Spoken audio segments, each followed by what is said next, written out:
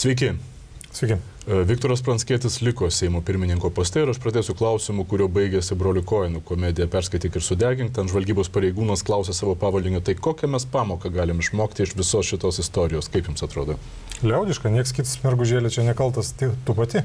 O mergužėlė tai Ramūnas Karbauskis? Taip, na tai jis pats programavo, galima sakyti, šitą situaciją 2016 metais, kai pasodino į postą mm, Viktorą, Viktorą Pranskėtį. Tai jo statytinis, jo buvęs dėstytojas. E, jis pats savo rankomis iš jo padarė ir dabartinę politinę žvaigždę, kai jį taip stumė iš posto, jam taip priešinantis e, pastarosius, pastarosius pusę metų. Pas Ramūnas Karbauskis šitą, galima sakyti, istoriją taip užkūrė, padarė ją tokią personalizuotą, personifikuotą, tokio asmeninių reikalų. Taigi, e, didelė dalim, man atrodo, būtent tai, kad, e, e, kad jisai tai padarė tokių savo asmeninių, personalinių reikalų, tai ir sąlygojo dalies ir koalicijos partijų. Nuo to ir nukentėjo, iš esmės. Taip, o kaip, kaip atrodys Seimo darbas, kai dabar Pranskėtis liko pirmininko daugumos, dauguma jo darbas, nepalaiko? Koks darbas? Kokį Seimo darbas? A, ta, Seimo darbas. Toks, kokiu jūs netikite. Pas, pastaruoju metu ir kuo toliau, tuo labiau šitie žodžiai, man atrodo, šalia bus sunkiai, sunkiai sudarinami.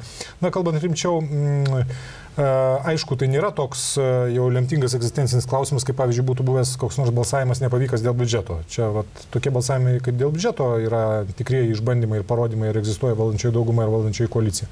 Čia vis dėlto buvo daugiau Pranskiečio Karbauskio reikalas ir čia pažeminimas ir pralaimėjimas yra ne visos valdančiosios daugumos, taip galima sakyti, bet būtent Karbauskio. Bet labai svarbi aplinkybė, premjeras Saulis Karnelis nedalyvavo balsavime, ar jam taip, nebus už tai keršėma balsuojant dėl to paties biudžeto? E, gali būti ir mes jau girdim iš valstiečių frakcijos vidaus, e, kad nemaža dalis yra, na, tam tikra dalis yra nepatenkinta ne tik biudžetu, bet ir apskritai vyriausybės darbu ir premjeru. Tai galima, e, galima prognozuoti, kad artėjant rinkimams šitos prieštaros ir trintys, kurios iš esmės yra natūralios, tik tai didės.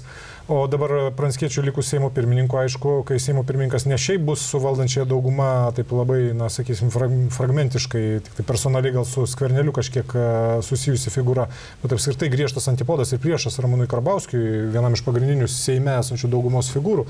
Tai akivaizdu, kad tai bus nuolatinės rėtinos obstrukcija, obstrukcija ir kova, o Seimo darbo kokybei, jeigu galima apie tai kalbėti, nieko gero neduos. O kaip manot, Saulis Kvarnelis turi planą huliganą tokiu atveju, jeigu jam bus trukdoma vadovauti vyriausybei ir priimti svarbius įstatymus vyriausybės? Na, apie savo, apie savo planą huliganą jis kalbėjo jau iš karto po prezidento rinkimų, jau, jau vasarą, apie tai, kad, kad, kad e, jeigu Ramūnas Karbauskis nesitrauks iš valstiečių vedlio pareigų ir neužleis to vedlio pareigų kažkam kitam, suprask jam Saulis Kvarneliui, tai jisai nebesieja savęs savo ateities su valstiečiais su valstiečiais kaip politinė komanda, kad jisai prieš rinkimus galvos apie savo kažkokį galbūt projektą, partiją ar judėjimą. Tai e, aš taip įsivaizduoju, šitos visus reikalus gerokai atidėjo ar pakabino ore asmenį jo tragediją premjero, tą lygą sunki, kuria jisai susirgo. E, jam pasveikus e, nuo, nuo tos lygos, aš taip įsivaizduoju, kad visiškai yra didelė tikimybė, kad toliau bus grįžta prie šito, prie šito plano, kad jisai toliau darysis į šonus, galvos apie savo kažkokią asmeninę politinę karjerą. E, atskira nuo valstiečių, nuo, nuo Karbauskio. Jau šią kadenciją. Jau šią kadenciją, žinoma. Galbūt tam tikra jau ir fa, ne tik faktinė, bet ir juridinė e, valstiečių frakcijos suskaldimą. E, taip kad čia, vat, čia bus pagrindinė šita takoskira, pagrindinė šita rizikos, rizikos zona ir pagrindinis faktorius ne Karbauskio ir Pranskiečio, ta tokia labai viešai aiškiai matoma prieštara, bet e, būtent kur kas fundamentalesnė ir svarbesnė Karbauskio skvernelių prieštara. Na ir jeigu skvernelius jau šią kadenciją atskels dalį e, valstiečių frakcijos, tai kokia bus ta valdančioji dauguma? Štai čia yra ir sudėtingoji dalis. Čia tą patį klausimą buvo galima kelti jau tada, kai Pranskėtis, va dabar va, prie šito lemio balsavimo išvakarėse jisai jau net ir viešai buvo pradėjęs svaiti užuominas, kad jeigu jisai išliks uh, Seimo pirmininko postą, jisai bandys padėti skverneliui sukalti naują laivą, suformuoti naują daugumą. Čia ir yra, taip sakant, didžioji myslė, iš ko tu ją žmogau formuosi. E, na, gali ten iš opozicijos, ten e, socialdemokratų opozicinių, ten ir panašiai kažkaip iš, iš vargais negalais kažką suramstyti, bet kiek tai bus tvarus ir ilgalaikis dalykas. Taigi e, tai daugiau... Na, ilgalaikis jis nebus, nes rinkimai greitai, bet tokiam trumpam laikotarpiu gali būti tvarus. Nebent, nebent labai trumpam laikotarpiu ir tiesiog pademonstruoti pagrindinį dalyką, kad Karbauskis yra išmestas iš valdžios ir kad tai yra na, Karbauskio galutinio nugalėjimo valdančiai, valdančiai dauguma. Tai ir tiek.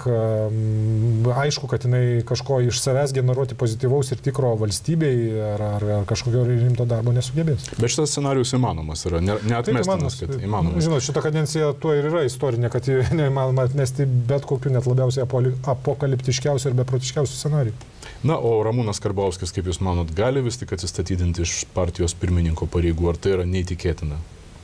Na dabar jam e, frakcija, Seimo frakcija, dalis Seimo frakcijos labai aiškiai pademonstravo, kad jisai na, tikrai nebėra toks lyderis, e, neginčiamas lyderis neginčiamas frakcijos šeimininkas kaip jisai norėtų, kaip jisai norėtų jo būti, bet na, žinant iš patirties, žinant Karbauskio mentalitetą ir Karbauskio charakterio savybės, kol kas sunku pripažinti, sunku tikėtis, kad jisai pripažintų taip tokį pilną pralaimėjimą, nes jeigu jisai atsistatydintų iš partijos pirmininko pareigų, tai reikštų, kad jisai jau visiškai pripažįsta totaliai pralaimėjęs ir pralaimėjęs pirmiausia Pranskiečiui, kuris dar visiškai neseniai buvo apskritas politinis nulis, būkime atviri. E, tai kol kas to tikėti sunku, bet e, net metu, kad gali subręsti tokios visiškai sąlygos, nežinau. Partija prasidėti. gali pasipiktinti. Partija gali pasipiktinti, gali prasidėti pačioje partijoje prieš rinkimus, ypač dabar, kai visus apima rinkimų panika, prasidėti kažkokie rimti centriniai procesai, kuriuo akivaizdoje net ir Karbauskis bus priverstas pripažinti realybę ir atsistatydinti. Ačiū.